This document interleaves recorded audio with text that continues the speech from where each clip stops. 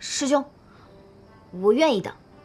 等你报了仇，那我们之间就没有任何阻隔了。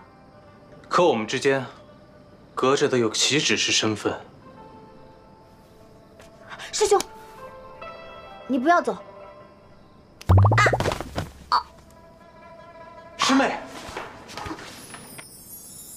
交错光阴里，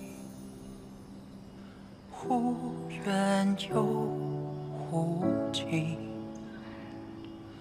若你的途径注定匆匆。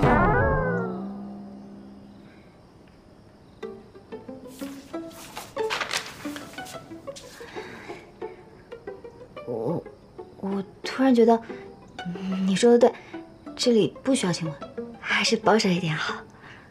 是吧？你看，你就按我说的这么写，肯定不会错的。呃，对，特别好。哎呦，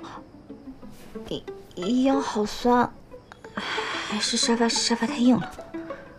啊啊！